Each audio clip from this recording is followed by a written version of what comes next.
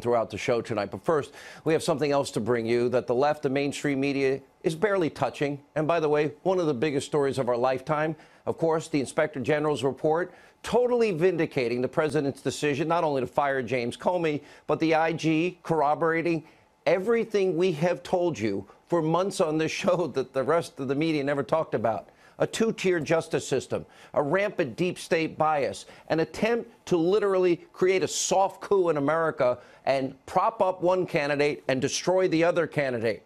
Uh, and you tell me Watergate's a big deal, and so much more. The mainstream media, well, they couldn't care less. Look at the headline from Newsbusters today. On Monday, CBS News totally ignored the IG Horowitz first testimony since the release of the IG report. And after two days of damning testimony from the IG, Michael Horowitz, and so many new revelations surrounding Peter Strzok, yesterday, your friends at ABC so called news, Georgie Stephanopoulos' place, NBC News, they avoided covering Strzok at all.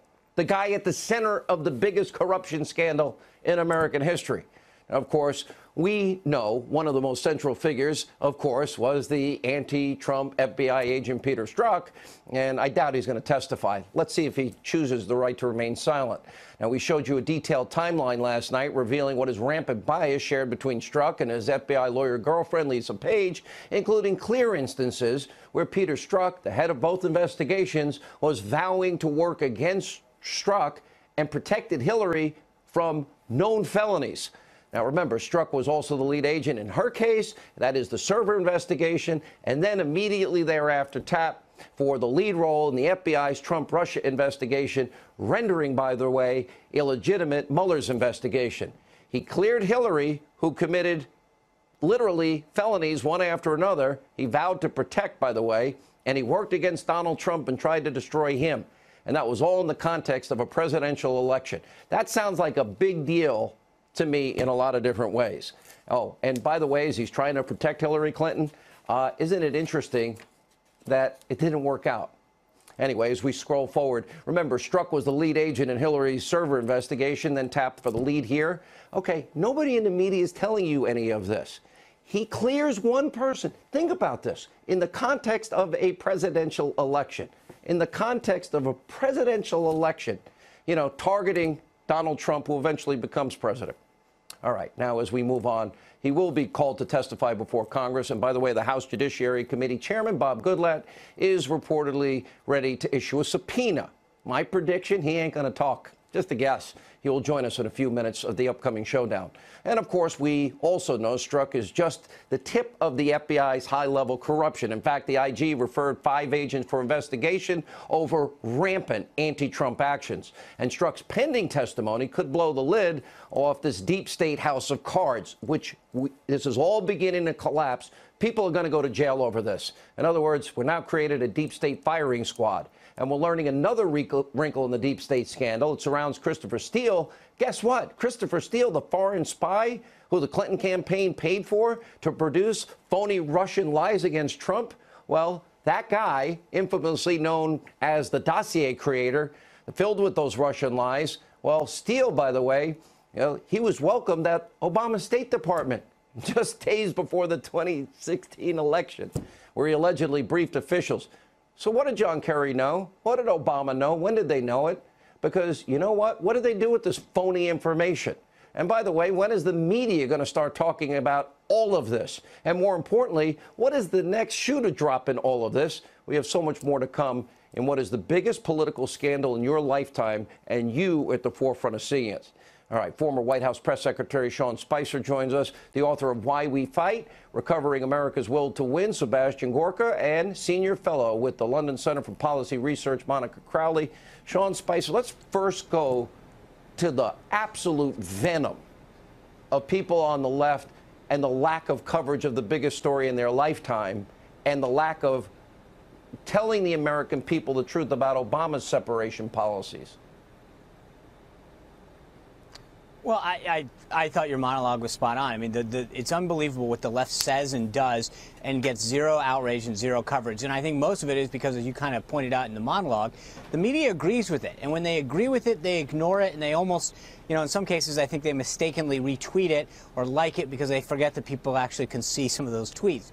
But it's amazing to me the lack of outrage. I mean, these people, you pointed out the, the, the Peter Fonda tweet. There's so many more where they use disparaging language, make threats, and yet there's zero coverage. Yet anything that's done on the right by the president or any of his supporters is called out and asked for an immediate apology and, and has to be denounced. The, the way in which they view the same kind of outrage is unbelievable. There's zero when it comes to people on the left and it's you know everyone needs to be denounced and we have to have boycotts and censor the people on the right whenever they do anything. And i'm not excusing any of the behavior on the right. Don't get me wrong. I think when people do something right, wrong i'm sorry. they step over the line they should be called out. But it is unbelievable what happens on the left the way they get away with it. You think about this monica. Okay talking about raping a woman talking about kidnapping the, the first son 12 years old and putting him in a cage with pedophiles and then there was even an assassination, CBS reported, uh, a real threat against the president today. Is the rhetoric connected to it by these, these people on the left? We are so far beyond normal politics, Sean, and the reason is because Donald Trump, from the moment he came down that escalator in June 2015, represented a serious existential threat to the ruling class on all sides, and that includes the mainstream media. And from that moment on to this very day, their mission has been to destroy him, everybody around him, discredit his presidency, destroy his voters, smear them as well, because he must not be allowed to succeed. And that's why you see this kind of over the top extreme reaction. Their first response to anything this president says or does is always to reach for the most extreme rhetoric and right, actions. Right there, and Monica. that's not going to end anytime soon. Monica stays with us. Sean Spicer stays with us. Dr. Gorka, I promise you're up first when we get back. Also, an exclusive interview with Bob Goodlatte. What is he going to do with Peter Strzok and Jim Jordan? Stay with us. Busy News Night. All right, as we continue, Sean Spicer, Dr. Sebastian Gorka, Monica Crowley, Dr. Gorka. I did not mean to talk so long in my opening monologue, although I kind of really did. Um, Is this what you do to the Singapore crew, Sean? Really? the, I, I know you traveled 24 hours in the air both ways for our audience. I love you. Don't worry. Um, the hypocrisy. Can we have some honesty about this immigration issue? So suddenly, the left, Peter Fonda included, care about minorities and care about children what about the 60 million children that have died in the womb since Roe v. Wade?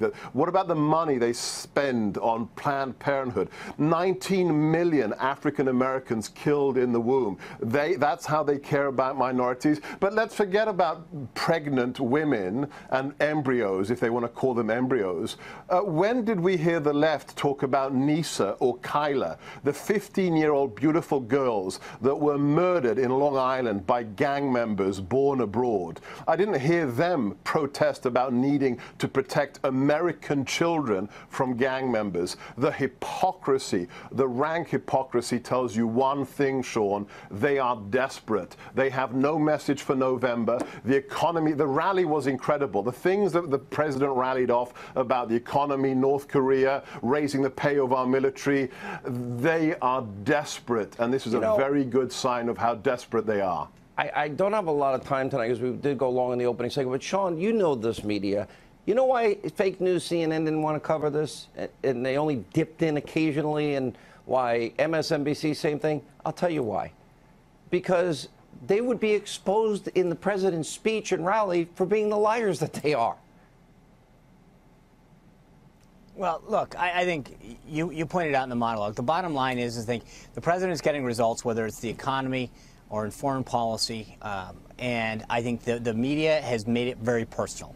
They don't like him. They don't. They never like conservatives. We knew that, but this is very personal to them.